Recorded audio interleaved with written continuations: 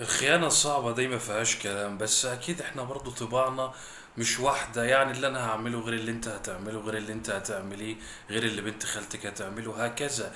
إحنا مختلفين وكل واحد فينا ليه طباعه ورد فعله وسياسته اللي بيتعامل بيها في المواقف اللي زي دي. بالظبط بقى هو ده موضوع حلقتنا. يلا بينا.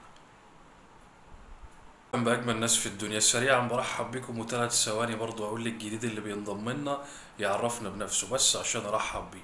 ويلا بينا نبتدي وكل واحد يكتب لنا في التعليقات لو اتخان رجل أو امرأة بصراحة ويخليه صادق معانا. هيعمل إيه؟ أنا بقرا كل تعليقاتكم عامة. نبدأ ببرجي مش عشان هو برجي بس عشان هو بداية الأبراج غصب عننا.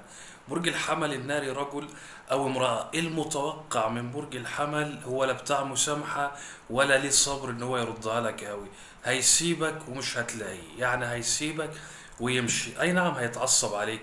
لو رجل ممكن يضربك ده أكيد. ممكن يعمل لك عاهات مستديمة. لو ست ممكن تمد إيدها عليك مفيش مشكلة. في الحالات دي عادي هي ما عندهاش أي مشكلة لما توصل معاها للذروة. ولكن رد الفعل المتوقع من هذا البرج إن هو يرحل من حياتك وهيقلب الترابيزة وقلنا إن هو بيقلب الترابيزة. على الجميع وعلى أي حاجة وعليا وعلى أعدائي واللي يحصل. برج الثور ممكن يسامحك بس يفضل شايلها لك. ممكن يسامحك عشان العيال عشان ما يشمتش حد فيه عشان الظروف عشان عشان عشان وخاصة المرأة الطور بالذات لو أنتوا إيه، متجوزين ممكن تيجي على نفسها ولكن ما تنساش مش من الأبراج اللي تنسى ولا تسامح هي ممكن عشان عقلانية أو عشان هو عقلاني مش عايز يفرح حد فيه أو مش عايز يهدم البيت أو الكيان الكبير. وعلى فكرة إحنا في حلقة النهاردة مش قصدنا الخيانة الكاملة يعني الخيانة بكل أنواعها بقى. بنظرة بكلمة بغمزة بهمسة بلمسة كل ده يندرج تحت عنوان الخيانة. تعالوا نشوف الجوزاء. الجوزاء رجل أو امرأة لا لازم يضايقك. آه ممكن يردها لك بس الجوزاء في البداية هتحس إن هو هيخونك مع طوب الأرض. ولكن بيبدأ الموضوع يقل معاه تدريجيا ولكن الجوزاء سريع في المواقف اللي زي دي. ممكن يردها لك في نفس ذات اللحظة. برج الجوزاء صعب ان يسامح صعب إن هو يسيبك من غير ما يضايقك. لا يحاول من الابراج اللي تحاول إن هي تردها لك. ممكن بأضعاف أكتر وممكن أقل شوية ولكن اللي إحنا متفقين عليه إن الجوزاء رجل أو امرأة لازم هيحاول إن هو يضايقك. خليني برضو أقول الحلقة دي ونوعية الحلقات دي بتكون مهمة ومطلوبة قوي لكتير من جمهور يعني المواضيع اللي زي دي. كالعادة لو أنتوا شايفينها مهمة ممتعة هتفيد حد يبقى دوسوا like شايفين العكس دوسوا dislike ويا ريت الناس اللي بتدوس dislike تقول لنا السبب يا جماعة. ليه؟ لو في مشكلة نعالجها. أنا ما عنديش أي مشكلة والله بالعكس. أنت كده بتنصحني لما تديني dislike بس تقول لي السبب. عشان لو في مشكلة عندي أبدأ إن أنا أحط إيدي عليهم. أنا هسيبكم لضميركم بقى. ويا ريت كمان اللي ما اشتركش في القناة يشترك. محمد أبو زيد على الفيسبوك واليوتيوب. أي حد غير كده نصاب. أنا ماليش غير صفحة واحدة على الفيسبوك. محمد أبو زيد. برج السرطان بقى. هل السرطان يسامح؟ إحنا قلنا إن هو برج ما بيسيبش حقه ولا سيامة في العاطفة. لا ما يسامحش. هل يبتعد؟ ممكن يبتعد فترة. هو السرطان رجل أو امرأة هيكتئب بس هيحاول إن هو يردها لك. هيحاول إن هو يسقيك من نفس الكاس. هو طبعه كده. ولو ما عملش كده هو ممكن ما يعملش كده بس مش هيرتاح. ما يعرفش ينسى ولا يعرف يتناسى.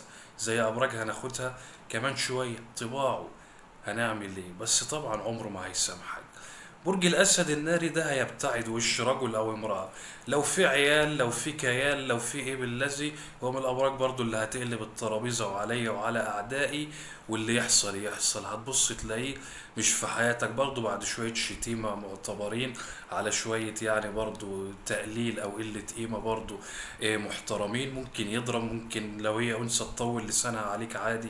في المواقف اللي زي دي آه أنثى برج الأسد أشرس نساء الأبراج زعيمة العصابة ورجل الأسد بالطبع في المواقف اللي زي دي بيطلع الأسد اللي جواه. أما العذراء فهنا ممكن يسامح. أول برج أخيرا لقينا برج ممكن يسامح.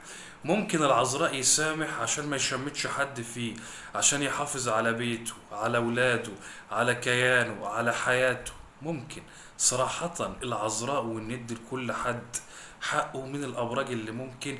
هي مش تسامح إن هي تنسى يعني وتبقى مية باردة ولا كأنك عملت حاجة يعني تعدي الموضوع تكبر دماغها وبالذات الأنثى ممكن فيها ال- الطبع ده. ولكل قاعدة دايما بنقول استثناءات ولكن أغلب مواليد ال- الأبراج هيعملوا كده يعني اللي إحنا بنتكلم عنها. آه تسامح ممكن عشان الظروف عشان العجلة تمشي عشان ما قدامناش غير كده.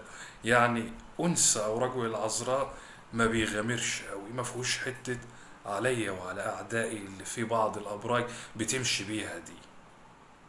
ميزان بقى الميزان لا ما يسامحش. لا الميزان ممكن يديك إيحاء ابن لذينة إن هو سامحك وتناسى أو نسي وهو عمال بيخطط لك وبيحسب لك الحسابات عشان يضربك في مقتل. الميزان ممكن بعد أنت ما تعمل معاه حاجة زي كده يقضي عمره كله يتلاعب بيك.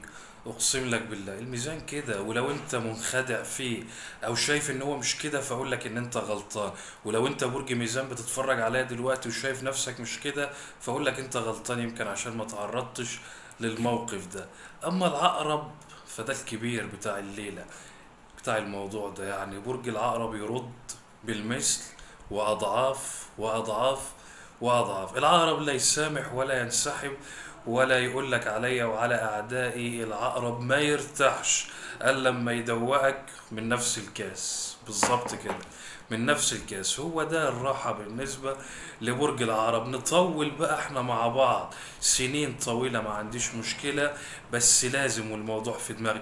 برج القوس ممكن يعمل حاجتين يرحل زي الأبراج النارية عادي ويقول لك بلاش وجع دماغ وممكن يسامح أو يكبر دماغه زي ما إحنا بنقول عشان الدنيا تمشي عشان العجلة تدور عشان المركب زي ما إحنا بنقول كده ما توقفش. يعني آه أبراج القوس ما بتحبش التعقيد عامة بينما برج الجدي بيحب التعقيد بيحب التعقيد أوي رجل أو امرأة. الجدي برضو كبرج ترابي فيه الحتة اللي هو ممكن يعمل نفسه مش واخد باله أو يعمل نفسه مكبر دماغه بس يبقى الشرخ كبير قوي.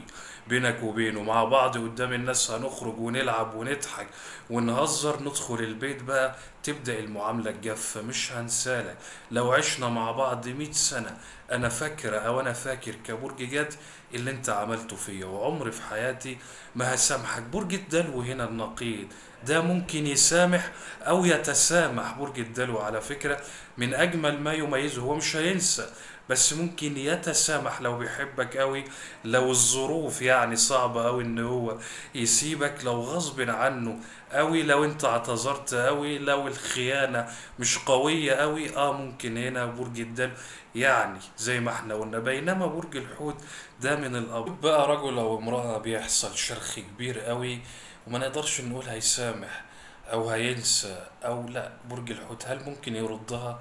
ممكن يردها باعتبار إن هو برج انتقامي في العاطفة وأساليب برج الحوت على فكرة رغم إن أنت ممكن تشوفه لذيذ وجميل وخفيف ولكن البرج ده لما بيمسك حد ويحطه في دماغه هيلففه حوالين نفسه. فخلي بالك برضو من النقطة دي. اكتبوا لي آراءكم في الحلقة دي. أنا بقرأ كل تعليقاتكم وبتعرف كمان عليكم من خلالها وبحب إن أنا أشارككم. وعندنا قناة جديدة للكورة وكان وقناة تانية للفضفضة. يا ريت تنضموا لها. من الروابط دي في أول تعليق ووصف الفيديو. وكمان عندنا لايف كل ليلة على الإنستجرام والفيسبوك. اللي يحب إن هو يشاركنا ده يشرفني طبعا. وهتوحشوني وإلى اللقاء.